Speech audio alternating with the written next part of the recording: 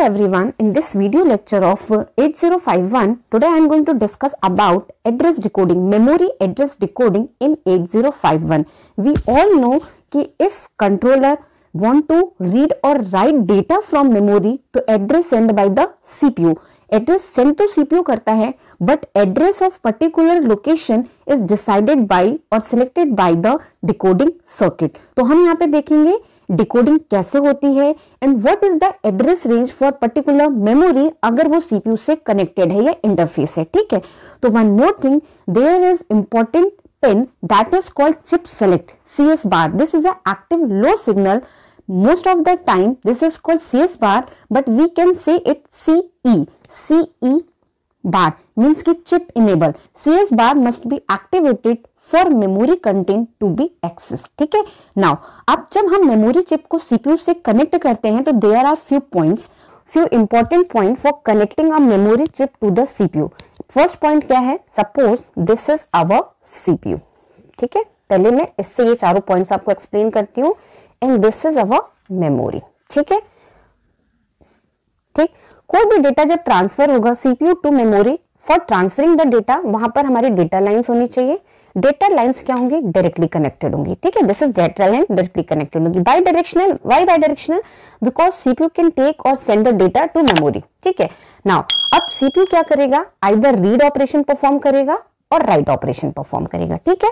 If CPU want to read data read data means कि वो memory से data को लेना चाहता है। जैसे आप अपने रजिस्टर्स में नोट्स में डेटा जो रिटर्न होता है if you want to read तो आप उसको रीड करते हो, वहाँ से आप लेते हो, ठीक है?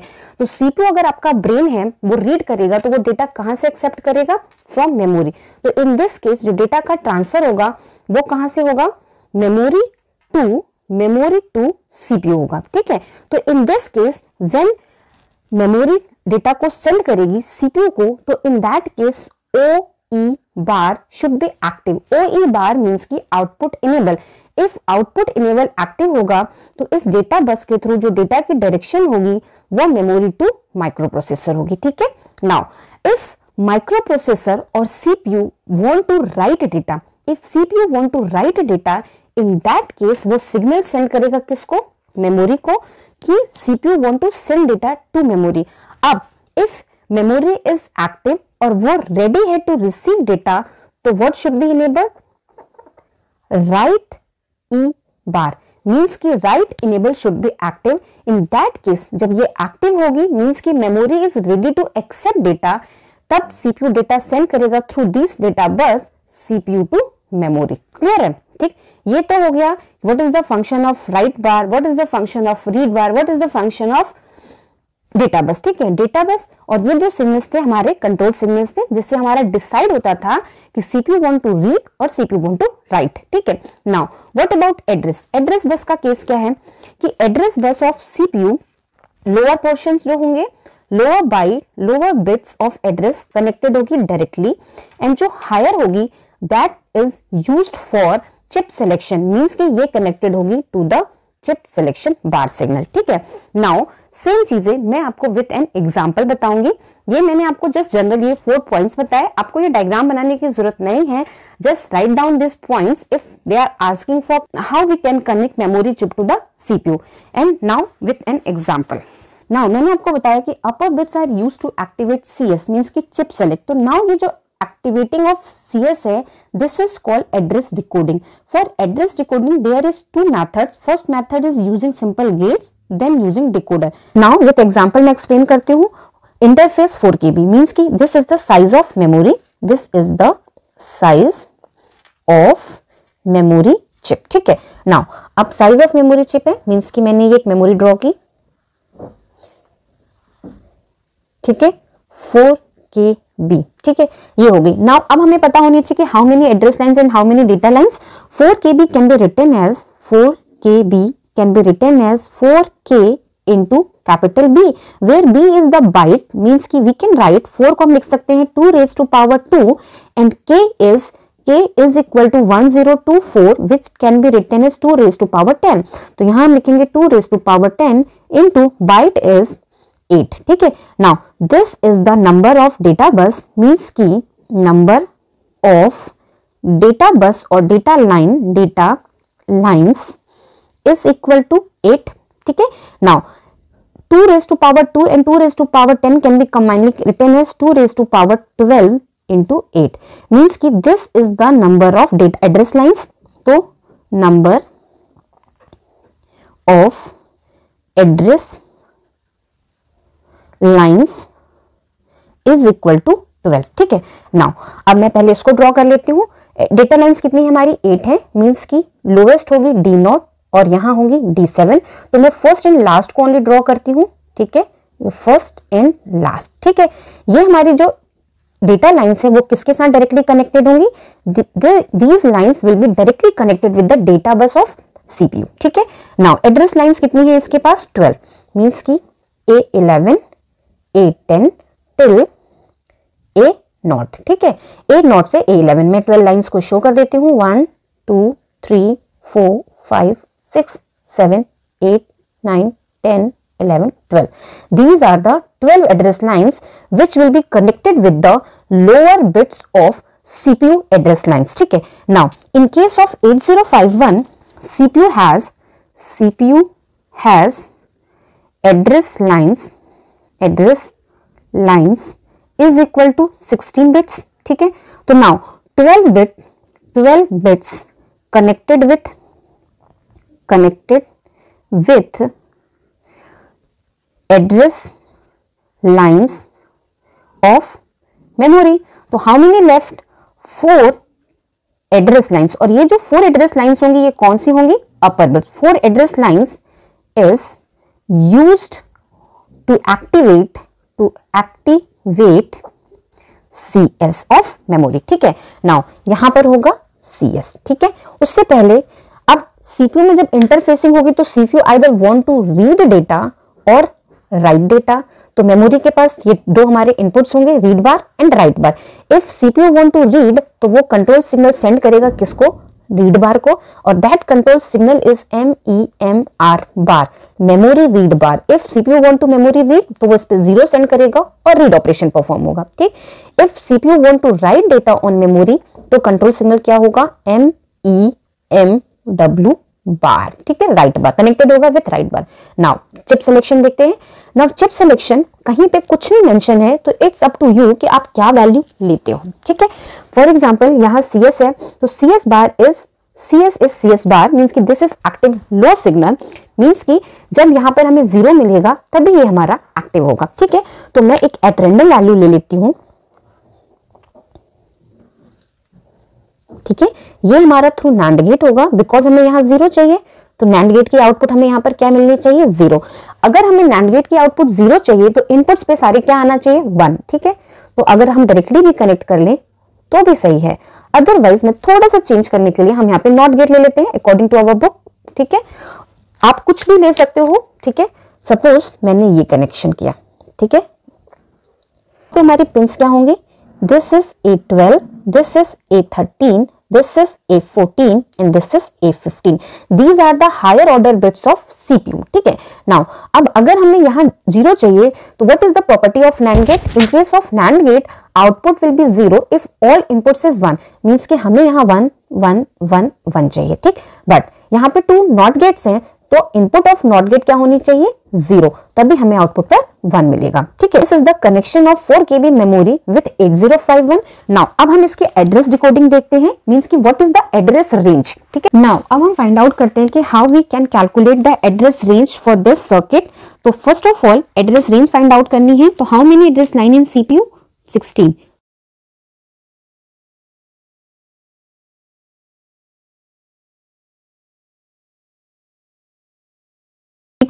ये हो गई address line in which higher bits of address lines is connected with C S bar means की ये चार या फोर लाइंस यूज़ होंगी for C S select chip select and remaining twelve bits are use to select memory address memory location ठीक? Now what is the minimum value minimum value of these twelve bits is zero zero zero zero zero zero all bits equal to 0 ठीक? Now, what is the maximum value? All 12 bits equal to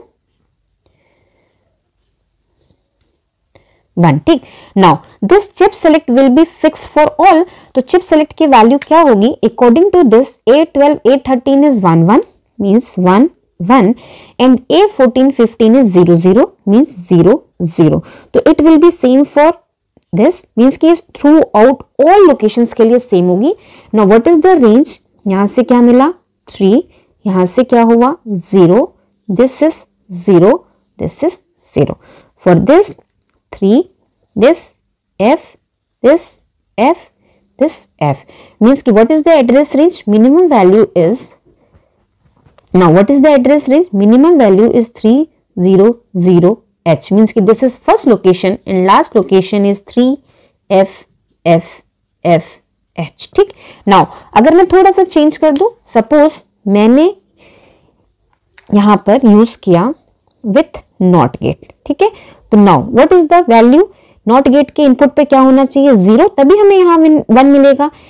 In these twelve bits no change only chip select value will be change तो A twelve की value जो one थी now वो क्या हो जाएगी? Zero ठीक है?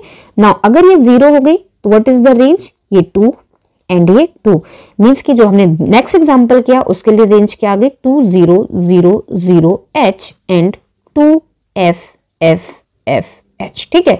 तो नाउ अब हम देखते हैं second method to select memory block that is seven four L S three eight I C which is I C of three is to eight decoder तो मैं सबसे पहले डिकोडर की आई सी बना लेती हूँ। मीन्स की ये हमारा decoder in this decoder there will be three inputs two three ये है A B C in this I C there is three additional inputs which is G two A bar G two B bar and one more is G one ठीक है? This case आपको ये दिख रहा होगा कि these two are active low signals and this is active high means कि अगर हमें डिकोडर को यूज़ में लेना है इट शुड बी एक्टिव और ये एक्टिव कब होगा? When this is activated this is activated and this is activated means ये दोनों एक्टिवेटेड कब होंगे? व्हेन ये ज़ीरो पर होंगे because they are active low तो either we connect with ground और एनी इनपुट जो इसको ज़ीरो दे। एंड ये कब एक्टिव होगा? जब इसको हाई सिग्नल मिलेगा। मीन्स कि आइदर हम इससे कोई इनपुट या एक्सटर्नल इनपुट अप्लाई करें जो इसको हाई दे, या तो हम इसको डायरेक्टली कनेक्ट करेंगे with VCC but please remember it should be activated three inputs ये three inputs and eight outputs means की Y naught Y one Y two Y three Y four y5, y6 and y7 these are eight outputs सारे के सारे outputs हमारे होंगे active low means के output पर हमें क्या मिलेगी इनके? ज़ीरो ठीक है? अब कोई भी आउटपुट यूज़ कर सकते हैं एज अ चिप सेलेक्ट तो मैंने y4 को कनेक्ट किया with chip select now one more thing you can write C S bar और you can write it chip enable ठीक है? If CPU want to read data from chip तो it should be E bar should be activated means की read bar को we can write O E bar ठीक है output enable अगर read operation होगा तो ऑब्वियस है राइट ऑपरेशन नहीं होगा राइट हमारा कनेक्ट होना चाहिए विथ हाई तो यहाँ पर हम क्या करेंगे अप्लाई वीसीसी और यहाँ पर हम क्या लिखेंगे? राइट बार की जगह वी पी ठीक है? आइधर वो रीड करेगा और राइट करेगा। अगर रीड करेगा तो ये कॉन्फ़िगरेशन अगर राइट करेगा तो this will be connected with high and it will be connected with low means की M E M W bar and V P P को हम लिखेंगे डब्ल्यू ई बार ठीक है? नाउ ये हमारा कनेक्शन हो गया। अब हमारे पास जो एड्रेस लाइंस थी ट्वेल्व तो हमारी कनेक्ट होगी डायरेक्टली फोर को हमें यूज़ करना है एज अ चिप सेलेक्ट तो थ्री तो हमारे पास फोर है, यहाँ इनपुट्स थ्री हैं. तो हम फोर को इंक्लूडिंग एडिशनल इनपुट कनेक्ट करेंगे. फॉर एग्ज़ाम्पल मैंने ए से कनेक्ट किया ए ट्वेल्व को बी से कनेक्ट किया ए थर्टीन को ए फोर्टीन को कनेक्ट किया यहाँ, और यहाँ पर हमारा कनेक्ट होगा ए फिफ्टीन ठीक है? नाउ ये तो हमारे सारे हो गए. Now G two B bar को भी एक्टिव होना चाहिए. ये एक्टिव लो है मीन्स की it will be connected with ground ठीक है? जी वन जो है this is active high signal means की it will be connected with VCC ठीक है? Now this is the whole connection ठीक? नाउ अब हम इसकी डिकोडिंग करते हैं। अगर हम डिकोडिंग करेंगे तो मिनिमम वैल्यू तो सेम ही होगी मीन्स की all bits equal to zero ठीक? मैक्सिमम वैल्यू क्या होगी? All bits equal to one means कि यहाँ से हमें क्या मिला? ज़ीरो यहाँ से क्या मिला? ज़ीरो यहाँ से क्या मिला? ज़ीरो फोर फोर बिट का हेक्साडेसिमल कॉम्बिनेशन ठीक है? ये एफ़ ये एफ़ ठीक है? अब हमें चाहिए Y four Y four means की it should be one zero zero ठीक है? मीन्स कि यहाँ होगा वन यहाँ होगा ज़ीरो यहाँ होगा ज़ीरो ठीक है? ए बी सी की आप पोजिशन को चेंज भी कर सकते हो। इसको ए इसको बी इसको सी लिख सकते हो। एंड ए फिफ्टीन किससे कनेक्टेड है? जी टू बार से। मीन्स कि ये तो परमानेंटली क्या होगा? ज़ीरो ठीक है? तो नाउ मैक्सिमम के केस में भी चिप सेलेक्ट की वैल्यू क्या होगी? Fix now what is the value यहाँ से क्या आएगा?